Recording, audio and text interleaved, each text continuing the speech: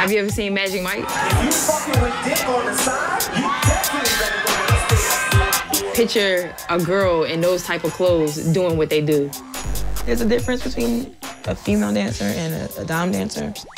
I've been dancing City of Doms for a little over five years. It's, it's a lot of entertainment groups. City of Doms just happened to be one of the biggest ones. I felt like there were no spaces for dance like me. I wouldn't say there was a time where a female bothered me. It's more so like the men that kind of do. I do know most of the dancers' boundaries for the most part. It depends on the vibe. Sometimes it'll change in the moment, and I may not even know about it. A lot of people saw my energy shift. It goes from, am I dancing or am I taking orders?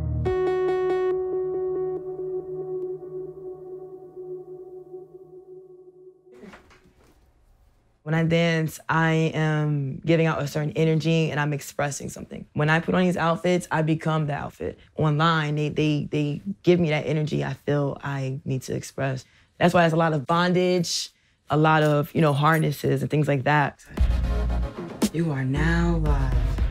I first knew I wanted to be an exotic dancer slash entertainer. I was about 16 and I was really into dancing in a sexual way my dance style due to how I dress would be considered dom because I, I, portray a dominant woman. Stud dancer is alternative for those who don't know the term dom. Anything that highlights masculinity.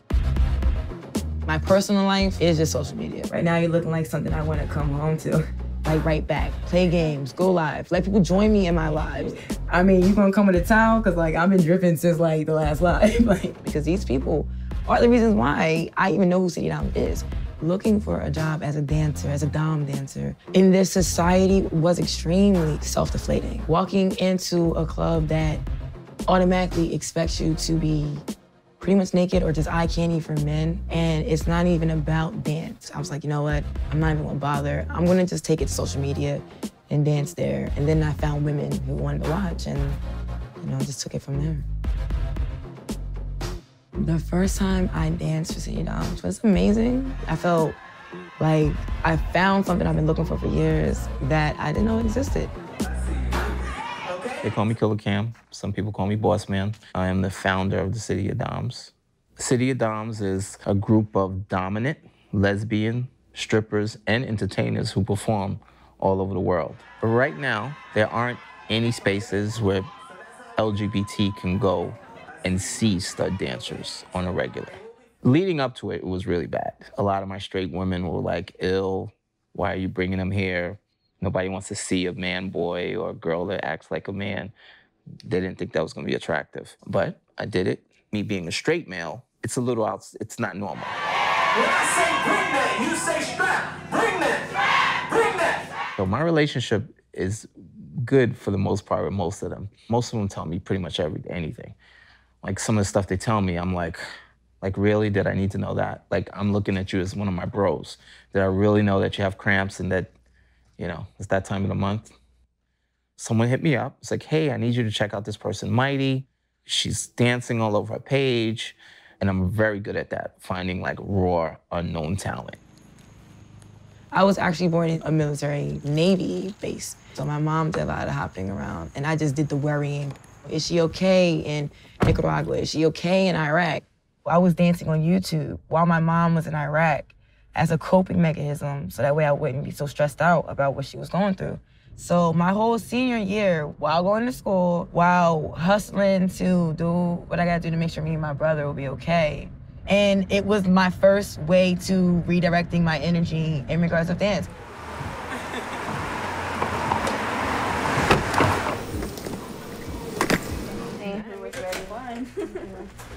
Everyone knows the cruise is the biggest event of the summer. I wanted to be a part of this group when Cameo first presented it to me. It was like the best thing that ever happened to me, to be honest with you. My top state is New York. I'm not lying. Like my fan base here is crazy. I do it to make certain women feel good about themselves. You know, most women, you know, they they don't get that type of love at home.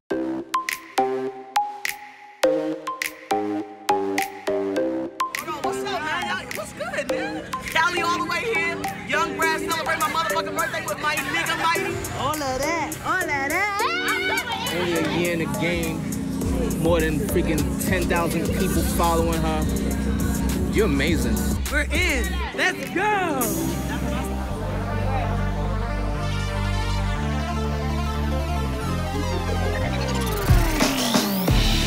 For those who don't know, this is being filmed live. You got warrants,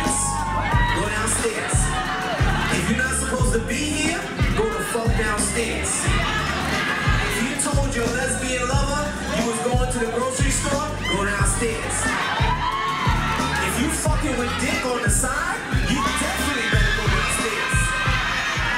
I've had some say to me, I just don't feel right with a straight man running a LGBT thing. I can easily stay in my box, but I enjoy doing this, and I'm doing it out of genuine love and respect for them. Today we're here for the Best of Both Worlds cruise. So I mean, the name stands for itself. Like it's Best of Both Worlds. That's what it is. You get to see the femme side and you get to see the aggressive side.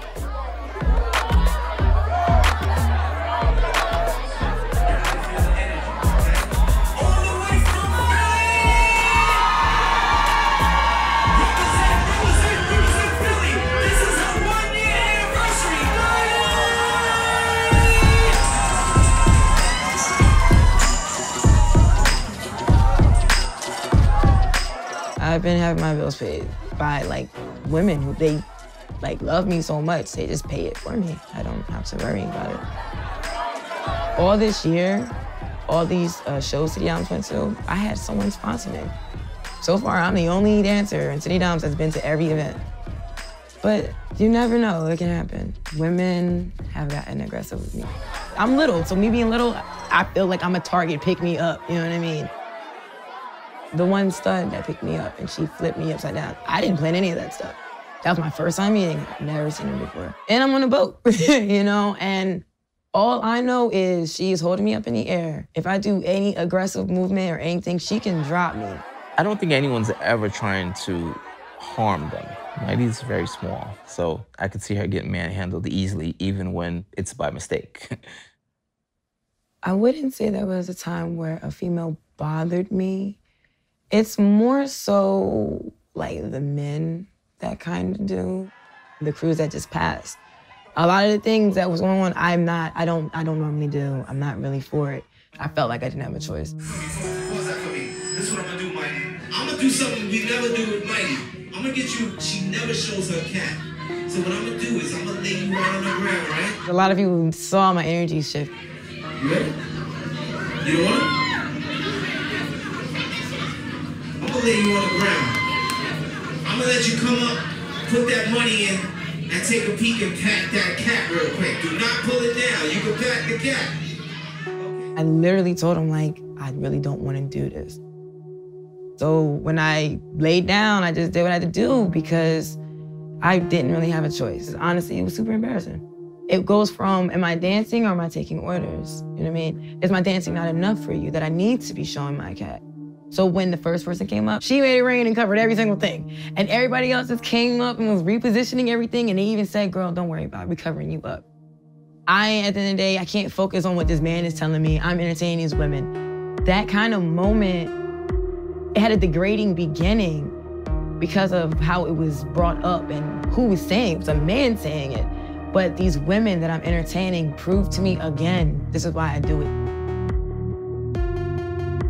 Even though they, they look at me as a sexy object, they don't look at me as a sex object. And then you guys there too, it didn't make it any like easier. I felt like, I don't know, it was a lot. But at the end of the day, you know, show has to go on. And, you know, sometimes you just gotta take one for the team, you know, and that was me. I'm a team player. Sometimes you gotta like put your foot down. Like, look, you know, don't do this, don't do that. And you know what I'm saying? You know, everybody drinking. Just gotta be careful. I do know most of the dancers' boundaries, for the most part, yes. It depends on the vibe, it depends on the atmosphere. So sometimes it will change in the moment, and I may need, I may not even know about it. Do you remember that moment? vaguely. If you feel uncomfortable doing something, you got to let the team know. And that's why we have females on there. That's why one of my closest workers is part of the LGBT and she's a female. At the end of the day, I am a male. So they may not feel necessarily comfortable telling me. They'll tell her, and then she'll tell me. Unfortunately, he doesn't know me as much as my audience does. But again, I'm a female dancer for females. I don't expect a man to know. With a man running it, it's different. You know what I mean? If it was a female running it, of course it'd be drastically different. We're not there yet. Every year, I really wanted the LGBT to, instead of disbanding and looking for a hetero to puppeteer us, we connect with each other and use our networking and do what we gotta do to keep that rainbow fucking rainbow. Like, you know, really rainbow, not just, you know, fake rainbow, you know.